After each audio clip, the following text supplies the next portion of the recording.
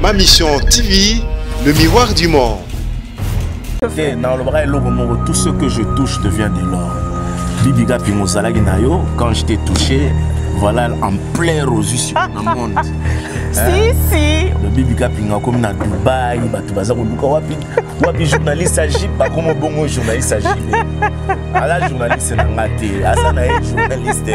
eh, ya bato nyonso vous avez juste donné eh, une pierre eh, donc tout ce que je touche quoi yango nde idéologie tout ce que je touche devient de l'or donc ntango eh, nasimbaki kaka bibi kapinga na lève toi et marche bibi kapinga excès de dubai naokenda ye na canada naokenda ye na états-unis mpo na fidelité moni nayebisaka bato la fidelité paye dans la vie il faut être fidèle il faut être discipliné et honnête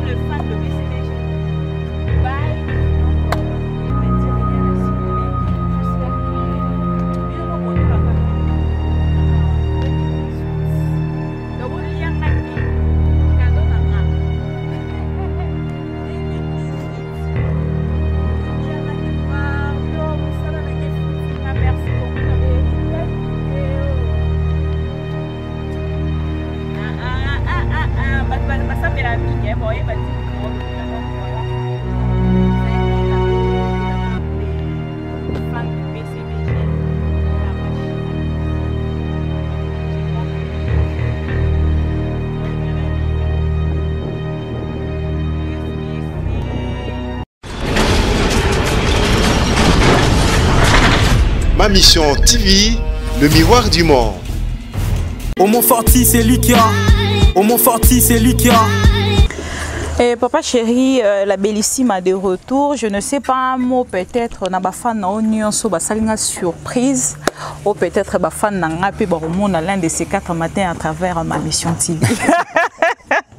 te nalobaka eloko moko tout ce que je touche devient de l'or bibiga pingo ozalaki na yo quand je t'ai touché voilà en plein rosu siko na monde sisi bibi kapinga akomi na dubai bato baza koluka wapi wapi journaliste agib bakomi bongo journaliste agib aza journaliste na nga te aza na ye journaliste eh, ya bato nyonso vous avez juste donné eh, une pierre mais donc tout ce que je touche quoi yango nde idéologie mm. tout ce que je touche devient de l'or donc eh, ntango nasimba ye kaka bibi kapinga na lève toi et marche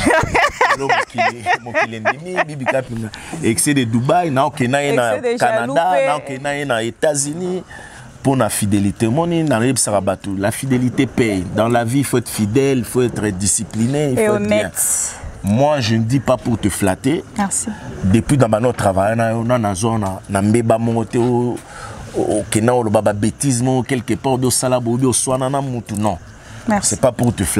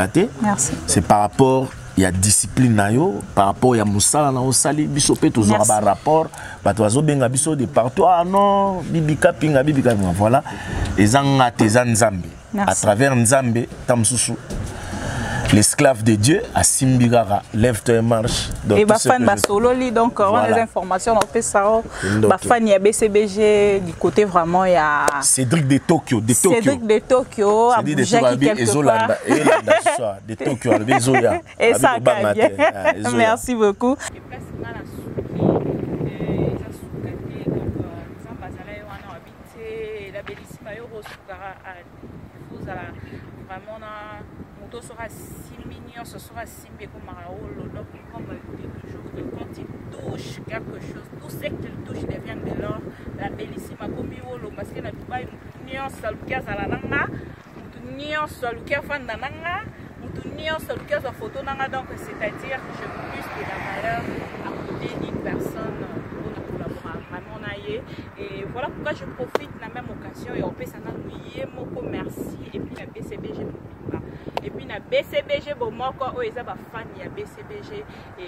na cadeau ya monene oyo kosali nga osala bino surprise olakisa bino cadeau wana mais entre temps je dis merci à mon vieux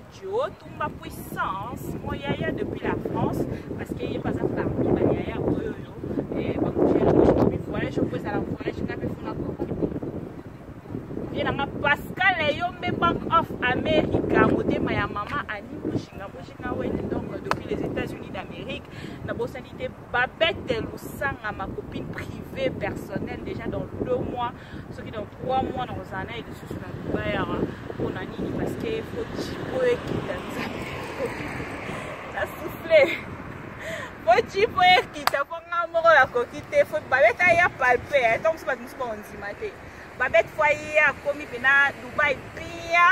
à palper à simia bi oh bibi c'est vrai donc voilà et merci encore une fois de plus euh,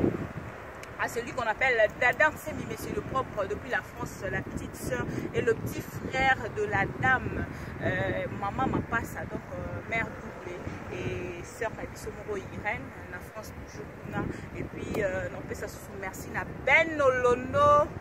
les fils de Jibem Diana l'homme en molette en or et puis l'Afrique du Sud motema ya mama Eunice on a bien vie nanga makasi vie nanga costa couleur costa couleur motema ya question ma mère alinga mingi te batanga to kuna donc les États-Unis pe kakuna vie nanga Guijou Mayela merci merci merci parce que fini les vacances c'est la rentrée lobby déjà concert à mon nene Zara qui n'a Tcharsa JB Mpiana a presté, à rendre hommage. Il a vraiment rendu hommage euh, à un grand artiste. Yamboka na biso na histoire, Yamboka na biso na musique. Au babengi na kombo ya Franco Luambo Makiadi et euh, Homo Fortis Elika était de la partie. et ba journaliste nyonso ya mboka bazalaki wana bango moko bamoni bcbg na masini na machine na musique puissance donc euh, sega mignon maniata azwaki micro hey, eh, sege mignon abomi nga moko na niveau zero eh, Serge Mini azwi micro ayembi na podium babi Zaire eningani Serge Mini omani ata ningisi Zaire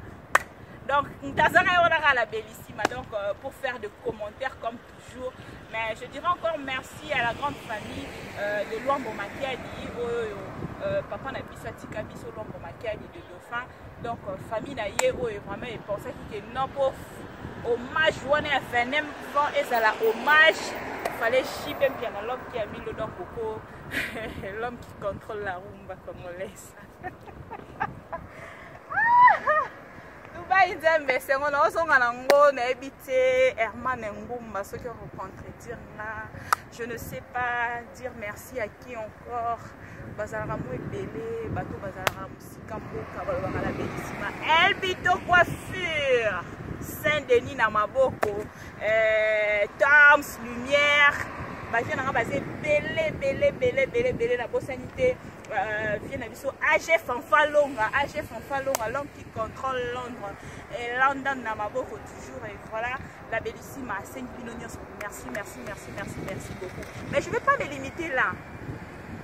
je vais vous inviter quelque part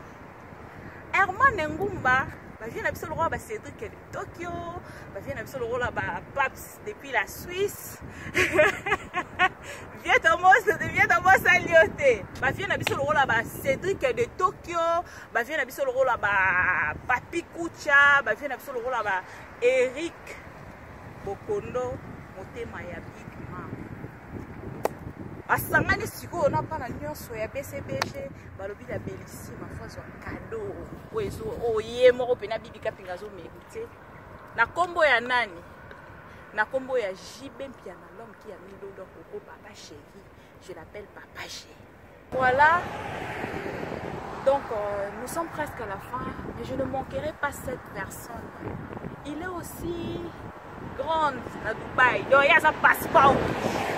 soko okomi dubai bien il faut niata makolo na biro na ye là je le dis et je le répète de messier dani kadima donc euh, ya passeport rouge donc sokomi dubai eza kaka ye après ye wana nga mna oloba après ye c'est herman nengumba donc so omoni vie na nga dani kadima oke na biro omoni ye vite fait makambo nyonso c'est bon neti motuka oyo ye nde faza charge na eh, wana bacharge na ye vie kadima wana bacharge na yo eya bato bawasi na mbongo oyo ezangi yo moko bakisi mpo nayebi na ngai nde na obanda te esika na obanda nayebi te mpo ye moto asala kontrole makambo nyonso bino so botindi mbongo na nga ya douane na ya transport ya gere esika bino bokokatana Monsieur Kadima azwi yango en charge. Donc voilà, c'est un peu ça. Je vous invite donc au moins komana Dubaï basali nga et voilà pourquoi nao remercier bango deux semaines aleki na Dubaï ya pamba te bato eh, deux semaines okokatana oh, te eh, Dubaï fo mbongo babosalaki kebi biga pinge venu de la part de BCBG la machine à musique et tie machine à musique donc en jeu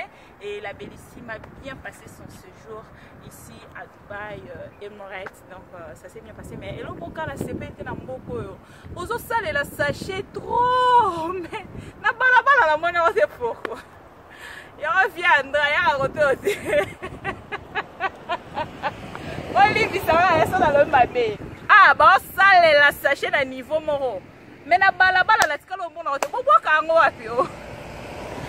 na oyebisa vie andre venez avec moi vous allez voir hein, une grande surprise et on va revenir tout de suite check à suivre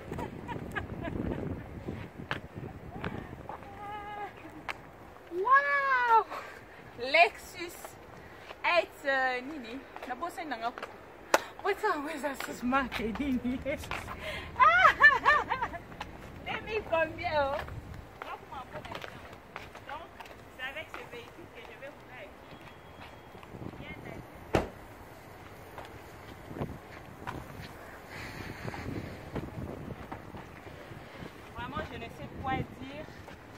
un grand cadeau de la part de tous les fans de BCBG Dubaï Donc, euh, rien à dire, rien à signaler. J'espère que bino mo botala kaka bomona awa 2018. Donc bolia nga te.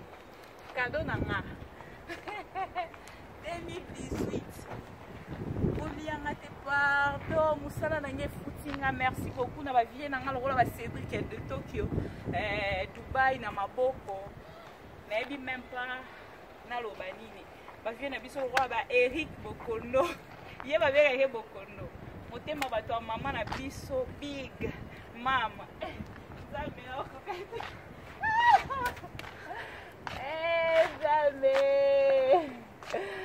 naokoka kado oyo te nzambe bosunga nga eh? bosunga nga vraimen eya noki na kinshasa esala nga bien bafane na bcbg de partout bosala nga grâce motuka ekoma na kina ata dans un mois esanga bien mpo mai na yango ekute etalaka ya motuka basombi ya mai bino mpo bomona eh, oyo otala ah eza bloke koto ya eh, bloke koto adebloke ah, eh? ah oh. voilà omoni etala eza na baecran bakiti nango nde couleur oyo nasepeli nango ntemba okochange non Bako changer hein? Bako changer. Ah OK. Donc euh, c'est un peu ça. Lexus Toyota, hein? Lexus Toyota 2018. Mutuka na ngana okune na ona. Ko bato be bando tuna ke Dubai yango ko sala nini? Ake ake sala nini yango des semaines ona Dubai ebele be bomoni. Nyonso. Yanga eh koso mutuka sibele. Merci pour la cadeau, Bafana BCBG. lakisa liboso na moi pardon po motuka yango osombi to bakabeli yo eza kado te basombeli nga eza kado basombeli nga bongo bafana pcpg basalaka na room nini babengao nini showroom showroom lexus 2018 donc eyaki ka mibale moko oyo nde yango donc euh, je ne sais quoi dire mosusu mpe yango oyo mais nga nazwi nde obongo na yo ya yo yango kasi yo eka mibale eh, na yo eza kitoko e eleki wana eh. bon eza na eza na okaa nde moko e merci vraiment na bato nyonso bapensaki vraiment la bellissima aya dubai lokola bavie na nga pascal eyombe bank of america euh, vie na nga